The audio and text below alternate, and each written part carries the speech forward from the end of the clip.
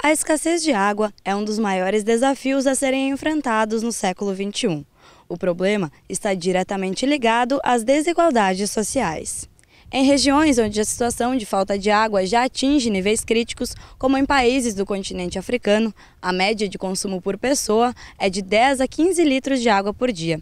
Já em Nova York, por exemplo, o consumo de água doce potável por cidadão chega a 2 mil litros. Cerca de 1 bilhão e 700 milhões de pessoas, quase um quarto da população da Terra, vivem em áreas onde não existe fornecimento adequado de água. Embora alguns países, como o Brasil, disponham de grandes reservas nos rios, lagos e aquíferos, o problema não está distante de nós. É importante pensar no futuro.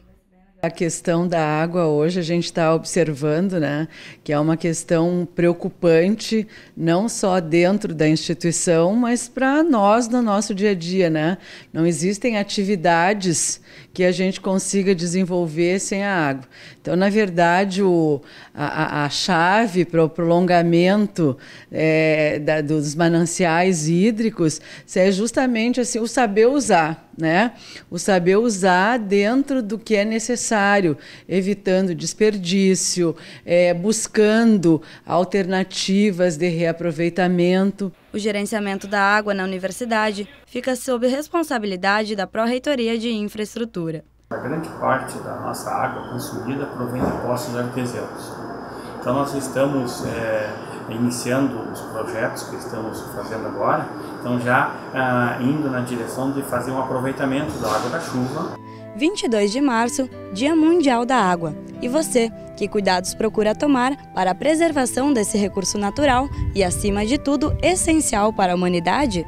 Em casa, principalmente o banho, eu procuro não demorar muito e não deixar torneiras pingando. Em casa, esses cuidados básicos que cada um deveria ter. Eu geralmente tomo porque água é o bem vital, então se a gente desperdiçar, todo mundo vai morrer. Então eu acho que as pessoas têm que ter consciência tomar como exemplo outros estados que já passaram por essa dificuldade agora recentemente. Ceará também que passa há anos por essa dificuldade. Olha, eu acho que é pela questão do uh, economizando no consumo mesmo, porque a gente vê que pelo tempo a seca continua, isso é uma coisa que está aí e que não há o que a gente fazer. Pela realmente a gente tem que economizar, né? Não tem o que fazer.